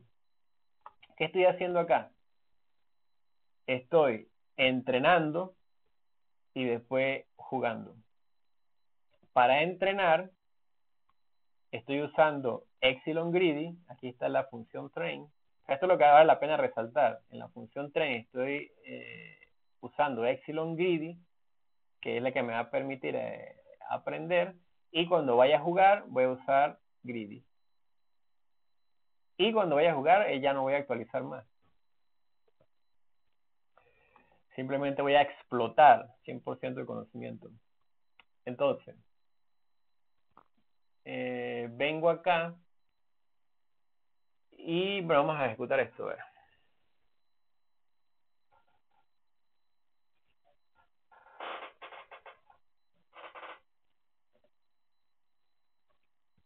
Ajá, entonces, eh, ¿qué es lo que estoy haciendo acá en el código?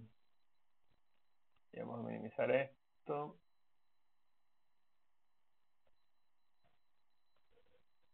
Lo primero que estoy haciendo es renderizar el agente y renderizar el agente es, eh, tiene por defecto mostrar los values y los values de mostrar la tabla. Entonces lo primero que voy a ver es la tabla. Voy aquí a la a los resultados. Ay, mira, esto me borró la tabla.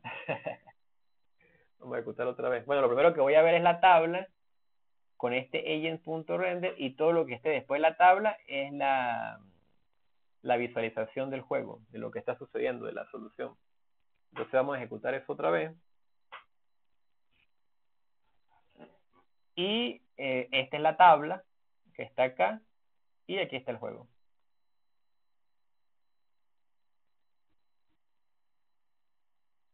Entonces, eh, ¿qué tengo acá? Acción 1, acción 1, acción 2. ¿A qué traduce eso? bajar, bajar, derecha, que fue exactamente la misma que yo les estuve eh, mostrando. Eso es. Ahora, con respecto a los valores, eh, y como yo les había hablado de la convergencia, vamos a intentar eh, que esos valores converjan. Entonces, para eso voy a poner muchas iteraciones. Voy a poner 10.000, a ver qué pasa. y voy a ejecutar.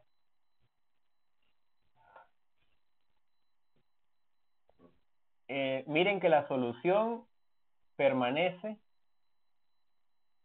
y eh, los valores, pues, al, momento no he encontrado eh, valores similares a los que tengo en, el, en las diapositivas. Entonces vamos a intentar con más iteraciones.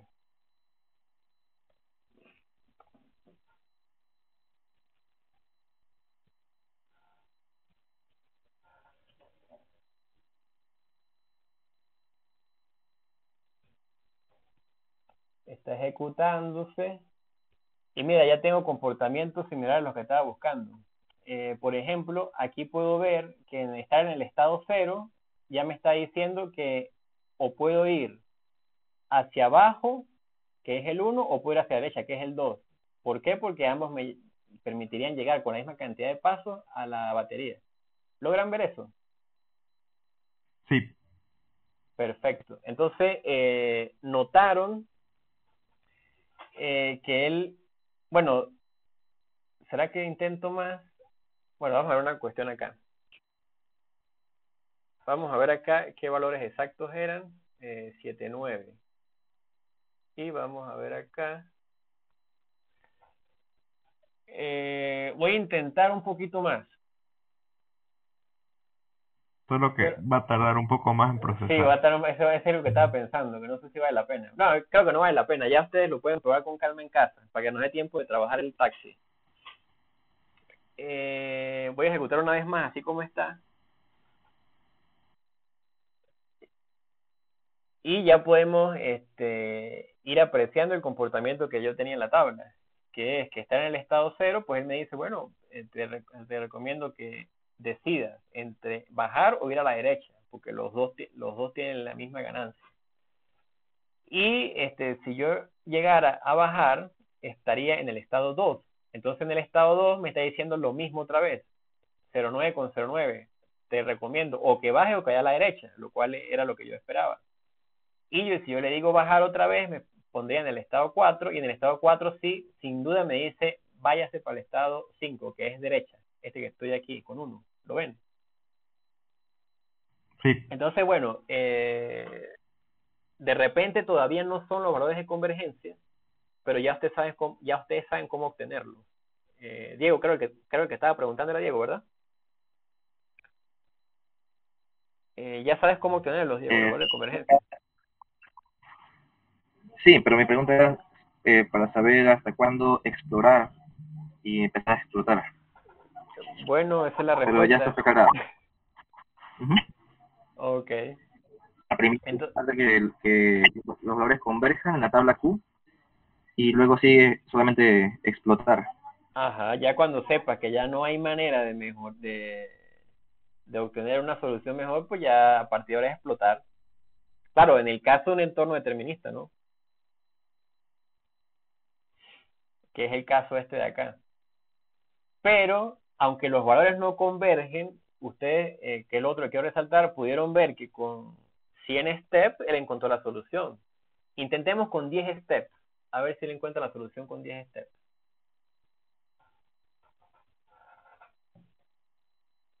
Mira, si la encontró, 1, 1, 2, usando 10 steps nada más. Eh, ahora me dio curiosidad a mí bajar un poquito más. Vamos a intentar con 5 steps, con 5 episodios, perdón. Ajá, vamos otra vez. Y la encontró con cinco episodios. Última prueba que voy a hacer. Voy a intentar con tres. Con uno. Voy a intentar con tres, con tres, con tres. A ver. Yo digo que con tres la va a dar todavía. Sí, todavía la encontró. Porque es la cantidad de pasos mínimos para llegar a, a la recompensa, ¿no? Sí. Yo digo que con uno llega. Pero lo voy a ejecutar otra vez eh, control, porque recuerde que hay un elemento aleatorio del, de la exploración. Segunda ejecución, también la encontró, y la tercera que voy a hacer, también la encontró. Dime, Paul. Con uno. Con uno para que no la encuentre y si la encuentra con uno, ahí sí ya no, no sé qué vamos a hacer con Full Learning. Le vamos a dar una medalla. Ah, listo. Vencieron ustedes a Q-Learning. Claro, no le dieron experiencia. Ahí, ahí está él este, tratando de ejecutar la, lo mejor que encontró, pero no, no encontró eh, el camino, entonces por eso quedó allí. Sí, entonces ya ustedes este, saben cómo pueden eh, probar, eh, cómo evolucionan las ecuaciones, cómo pueden encontrar los valores de convergencia, eh, etcétera. Y vieron lo poderoso que es el algoritmo, ¿no? Con, con poquitos steps, él ya, con poquitos episodios, perdón, él ya él logra encontrar eh, la solución. Con tres. Ajá. Eh, ¿Alguna pregunta hasta el momento?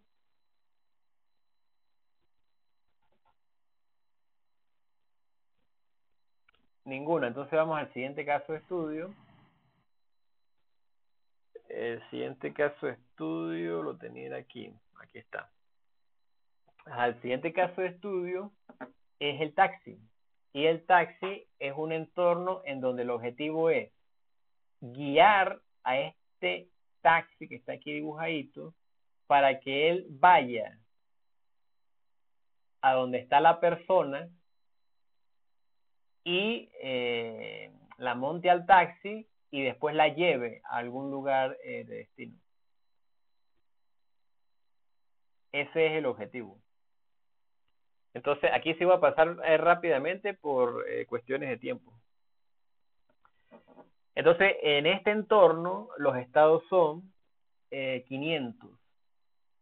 Esto es un entorno de Jim y Jim lo representa como 500 estados tal como lo, como lo habíamos este, visto en los otros entornos, son estados discretos.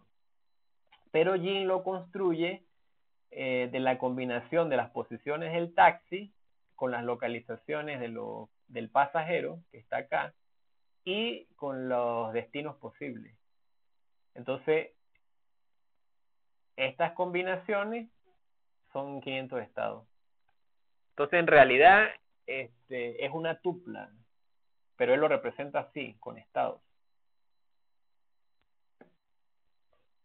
Ajá. Eh, siguiente diapositiva. ¿Cuáles van a ser las acciones? Moverme al norte es cero. Aquí era donde le decía que aquí es distinto a como lo tenía en Frozen Lake, porque moverse hacia arriba es uno, que es el norte. Moverse hacia abajo viene siendo el sur, que es cero. Al este viene siendo 1. No, lleva, perdón. Al este viene siendo 2. Y al oeste viene siendo 3. Así está definido esto. Entonces, aunque Yin es quien lo tiene, eh, lo tiene de una manera distinta. Y los otros eh, posibles acciones son recoger al pasajero y dejarlo. ¿Cuáles son las recompensas? Ya habíamos adelantado un poquito esto cuando le estaba explicando a Alfredo, y es que cada movimiento eh, de ese carro o de ese taxi va a tener una penalización de menos uno.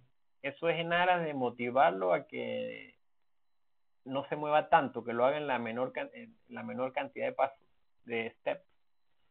Cuando él logre entregar al, al pasajero, que es el objetivo, él obtiene una recompensa de más 20 y si él ejecuta eh, las acciones de eh, recoger al pasajero o de dejarlo en, un, en una ocasión donde no es una penalización de menos 10.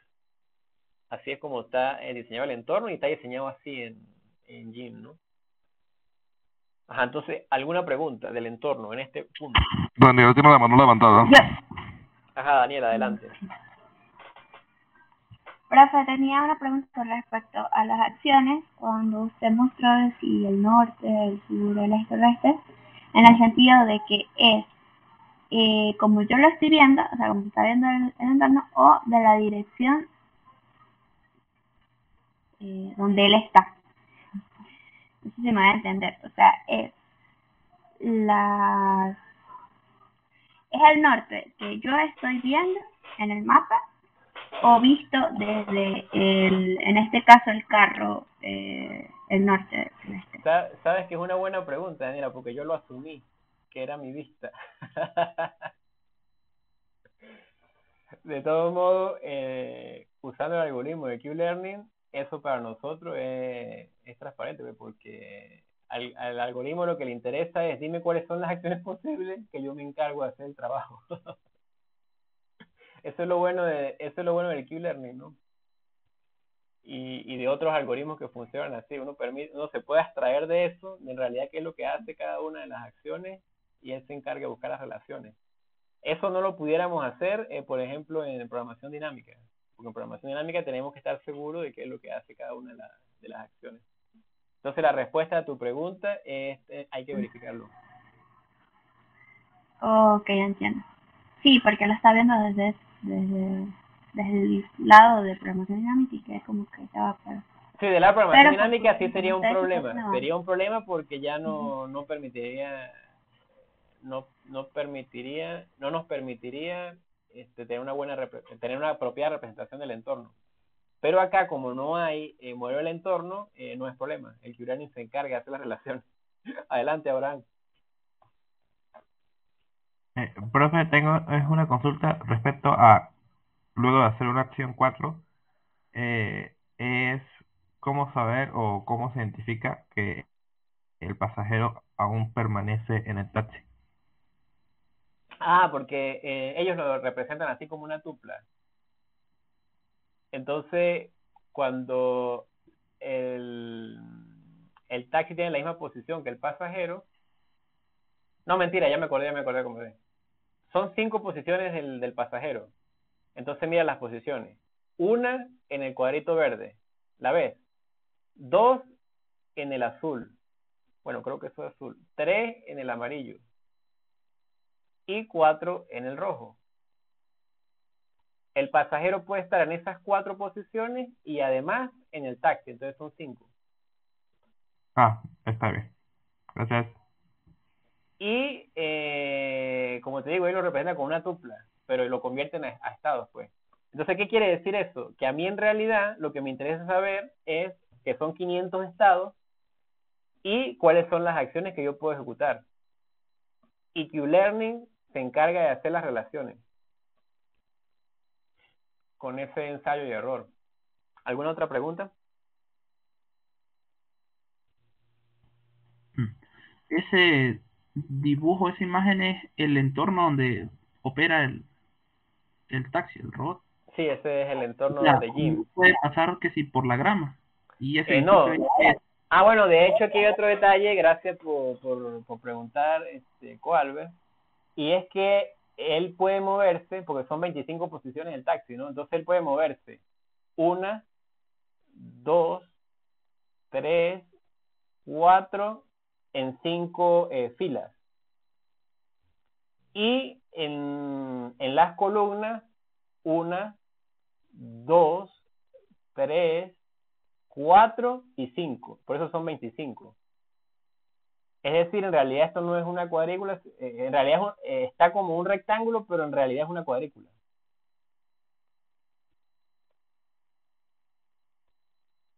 Sí, sí lo, lo viste.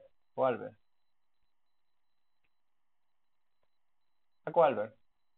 Ah, sí, más o menos, pero la imagen Entonces él no puede, él no puede moverse por la. no es una representación real del- de, la cuadrícula que es. No, no, la aventura de la cuadrícula está cambiada en, en proporciones. Ok, ok. 1, 2, 3, 4, 5. Pero él no puede este, montarse en la grama. Pero tampoco puede, o sea, lo voy a poner de otro color para que quede claro, claro, claro. Le voy a poner el color eh, rojo. Él tampoco puede estar en este espacio. Y tampoco puede estar en este espacio rojo, ni en este. ¿Por qué? Porque no forma parte del entorno. Lo que pasa es que lo, lo dibujaron así y más bien es raro porque hasta confunde eso, ¿no? Pero ya son cosas de Jin, ya ahí no hay nada que hacer. Nosotros ya no... Ajá, adelante, Alfredo. Tengo una consulta, eh, porque el dibujo me genera una confusión en donde está la grama, Ajá. Pasar de uno de los espacios que dibuja el morado al otro. ¿Él puede pasar a través de eso o la grama representa un muro? O Sí, la grama representa un muro. Por eso, entonces esa transición no es posible. Eh, de este a este no. De esta acá a este no. O- y los otros espacios intermedios serían muros, pero que no están diferenciados. Y los otros, si lo quieres no, lo, ¿cuáles, ¿cuáles serían muros? Lo que digo El de... taxi hacia la derecha puede pasar en un paso. Perdón, ¿cuál? El- Repite, por favor. El cuadrito rojo, donde está el taxi, hacia la derecha se puede mover en un paso. Sí, cuando yo me muevo en un paso de a la derecha, llego aquí al, al que marqué en púrpura. Es decir, donde está en rojo él no lo va a tocar, porque eso, no sé por qué lo dibujaron así, eso confunde. O sea, eso estaría como de más. Sí, está de más, exactamente. Ah, entiendo, entiendo. Porque es que me confundía de que pensara que era un muro también. Sí, sí no, yo, yo sí me di cuenta de una vez porque como dijeron 25, entonces pues ahí, ahí, no, hay- ahí no, no, no cuadra la cuenta, pues se pone a sumar, aquí sería 1, 2, 3, 4, 5, 6, 7, 8, serían 9. Y serían 5, 9 por 5, y ahí no es 20, ya no es 25. En el caso de la última fila, por ejemplo, ¿cuáles serían las casillas válidas? Mm, la misma idea, las que están en, en púrpura.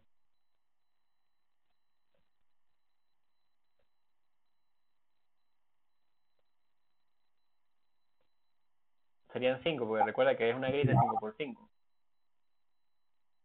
Entonces serían las que acabo de marcar en púrpura. ¿Sí? Ujú. Ok, entonces vamos a verlo en acción. Oh, perdón, ¿alguna otra pregunta? Ok, no hay más preguntas, ahora sí vamos a verlo en acción. Ajá, entonces venimos para acá. Y ese es taxi.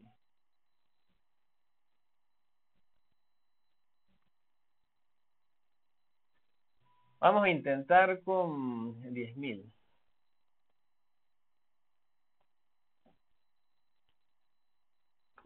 Claro, recuerden, eh, vuelvo, a, vuelvo a repetir esto porque ya este, me han hecho preguntas interesantes sobre cuándo alcanza la convergencia, etcétera, etcétera.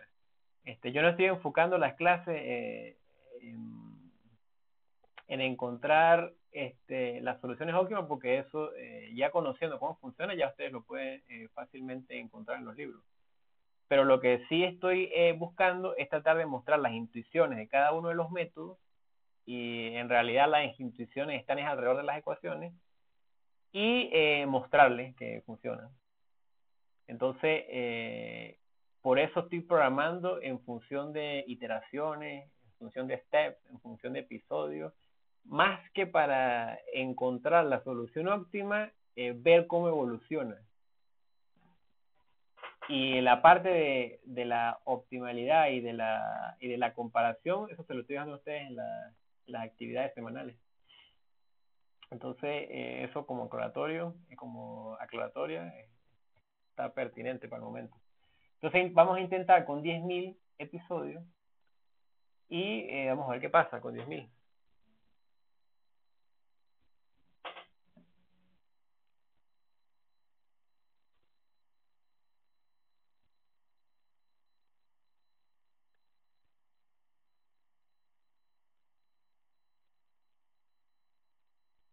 con 10.000 fue suficiente. Entonces, eh, la otra característica del, eh, del entorno es que lo- los valores, los estados iniciales cambian.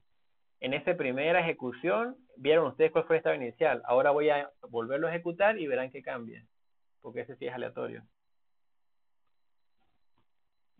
Ahí va la segunda ejecución, eh, la, el segundo ejecución, ¿sí?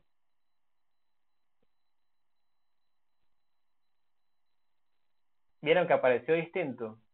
Entonces él va, lo busca y llega. Ahora, eh, hasta el momento, ah, ah, perdón, preguntas. Diego hizo una por Diego. Ok, adelante, Diego. que, que vi que el, el- el auto del taxi atravesaba el edificio. ¿Eso está Eh, correcto? Ah, lo que pasa es que... El edificio este, es como un el flag edificio- para decir dónde es la meta. Exactamente, es una bandera, exactamente. O Albert lo dedujo. Eso es. O sea, es algo ahí ah, Entiendo. artificial, no sé, no... no Ajá, sí, uno- lo puedes ver como una bandera. Ajá, otra pregunta.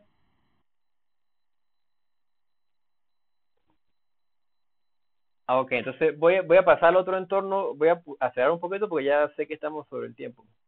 Ajá. Eh, ya hemos visto el robot battery, que es un entorno determinista, y el taxi, que es un entorno determinista.